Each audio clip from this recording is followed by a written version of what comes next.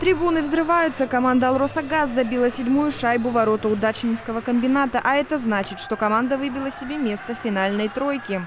Самому старшему игроку 76 лет и самым младшим 14. Вот в чем наша сила. Преемственность поколений, так сказать. Два месяца, больше 20 матчей. Выходные завершился чемпионат по хоккею на Кубок профсоюза «Профалмаз».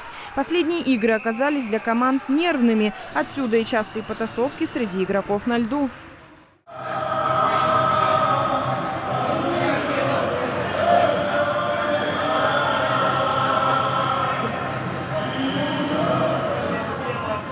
Не было настроя должного. Ребята, наверное, думали, что получится выйти и сыграть э, на одном коньке, так сказать, э, без особого сопротивления.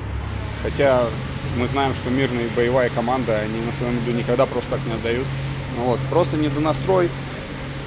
Ну и где-то думали, что шапками сейчас закидаем. Как видите, соперник показал, что это нас нужно вытаскивать из-под этих шапок. Хоккей – спорт травмоопасный, поэтому на протяжении всех игр на трибунах дежурили медики. Игры у нас проходят два месяца. За этот период была одна травма, перелом правой руки.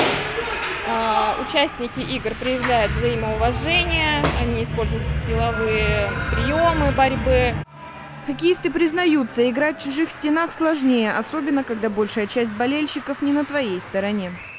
За кого болеете? За Алроса Алроса Газ. Почему? Сын играет. За мужа своего, 18 номер. А... Алроса Газ. Конечно, за Алроса Газ. Почему? Ну, потому что она рулит. Алроса Газ рулит. Только вот ни стены, ни болельщики не помогли обойти гостей северной площадки. Команда Удачинского ГОКа взяла главный приз – Кубок Профалмаза. Алроса Газ на втором месте. По словам организаторов, в двухмесячном поединке все команды отыграли в полную силу. Соперникам расстраиваться не стоит. Кубок – награда переходящая.